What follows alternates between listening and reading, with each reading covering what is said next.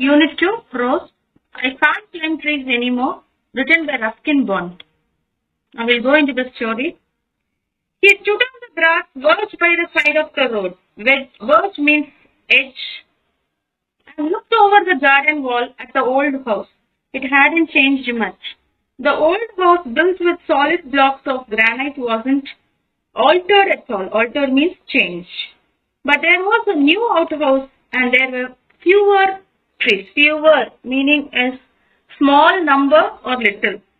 He was glad to see that jackfruit tree still stood at the building casting its shade on the wall.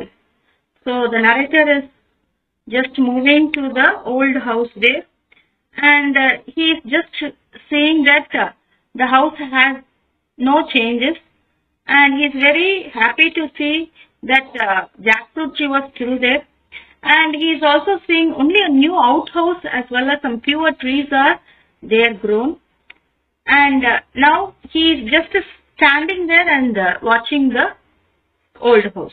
He remembered his grandmother saying, a blessing rests on the house where the shadow of a tree falls, and so the present owners must also be receiving the tree's blessings. And at the spot he stood there had once been a turnstile, and as a boy he would swing on it, going round and round until he was quite dizzy. Dizzy meaning is giddy, and turnstile means a mechanical gate which you have uh, uh, a, a roundabout. When you just move, you can move around and round there. Now the turnstile was gone, the opening wall up. Tall hollyhocks grew on the other side of the wall. Some changes were there as turnstile was, when he was a boy, he used to play in the turnstile. Now the turnstile was taken off and now the wall has been built up. He had seen also the flowers, that is hollyhocks also grew on both the side of the wall. What are you looking at? It was a disembodied voice. Moments later, a girl stood framed between dark red hollyhocks staring at the man. She was only 12 or 13 with lively eyes and long black hair. Now, you see here, suddenly when he was seeing the old house, he heard a voice. Okay, embodied means only he can hear the voice of a person, but uh, you cannot see the person who it is. Okay. Now, he is seeing, just he is hearing the voice, turning, a girl was standing there, one 12 or 13 years old girl with a long black hair. I am looking at the house. Is it yours? He said. He asked. No, it's my father. Why? Do you want to buy it? And what was, what does your father do? He's only a colonel. Only a colonel. Well, he should have been a brigadier by now. The man burst out laughing. It's not funny, she said. Even mom, mommy says he should have, he should be a brigadier. It was on the tip of his tongue to make a witty remark, but he did not want to give offense. Offense means to insult someone. He don't want to insult.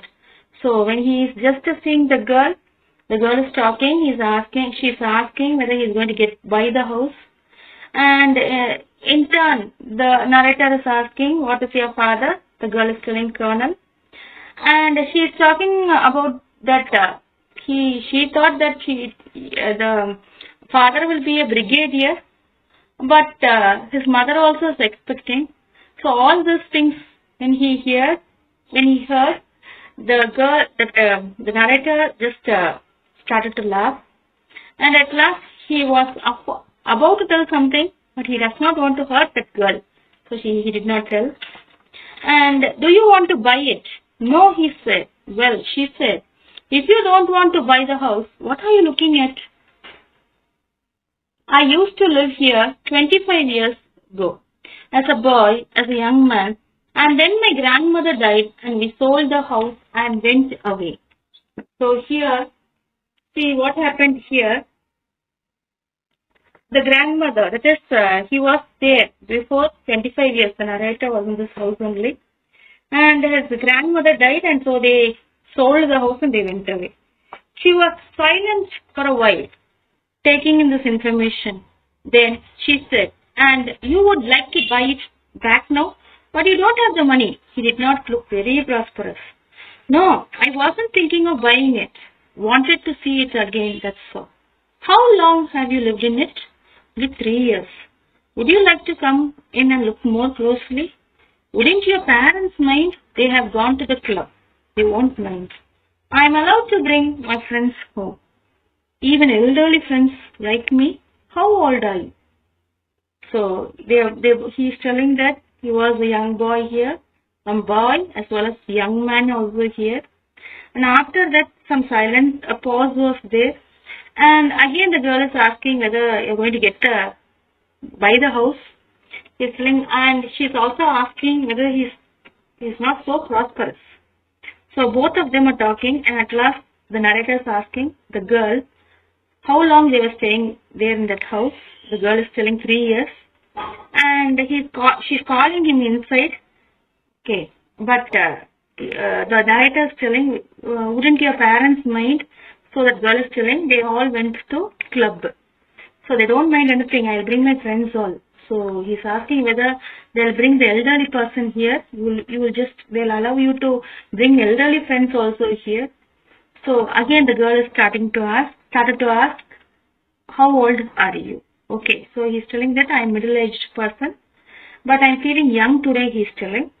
And he's telling that uh, I, I, to prove that I will jump over this wall and just get inside your house. Oh, just middle-aged, but feeling young today. And to prove it, he decided he would climb over the wall instead of going round to the gate.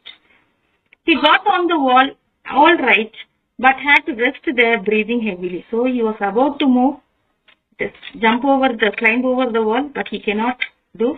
He just breathed very heavily.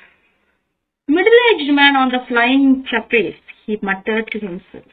I'll help you, she said, gave him her hand. He slithered down into a flower bed, shattering the stem of a hollyhock. So trapeze means a person who will do in a circle. Okay, will swing from one end to other. Like that, he's feeling it seems. As he walked across the grass, he spotted a stone bench under a mango tree. It was on the bench which his grandmother used to rest when she was tired of pruning rose bushes, bougainvillea. Let's just sit here, he said. I don't want to go inside. She sat beside him on the bench. So, both of them were talking. Suddenly, they saw a bench under a mango tree, stone bench. So, they're going there. And uh, he is remembered about his grandmother, just she used to rest there whenever she was tired of uh, just uh, taking pruning, pruning the roses. Okay, yes. Okay, pruning roses, bush, rose bushes and bougainvillea. Understood? Yes. Okay. Okay, just uh, they both are sitting under the stone bench. I mean, on the stone bench under the mango tree. And each and everything started to be rem remembering the narrator. The grandfather's piano, car, veranda, everything like that. I used to climb the jackfruit tree, he said, opening his eyes. So he's telling, I will climb the jackfruit tree. We'll stop here and we'll continue the next rest of the story in the next class. Thank you.